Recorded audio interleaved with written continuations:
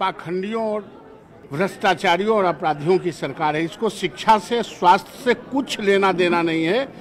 और अगर शिक्षकों को समान काम का, समान वेतन, शिक्षक अभ्यर्थियों को जो जिन्होंने पास किया है परीक्षा, अगर उसका तत्काल ज्वाइनिंग नहीं कराया तो इस सरकार को ईंट से ईंट बजा देंगे और ये देखते रह जाएँगे, इनको भागते रास्ता नहीं मिलेगा।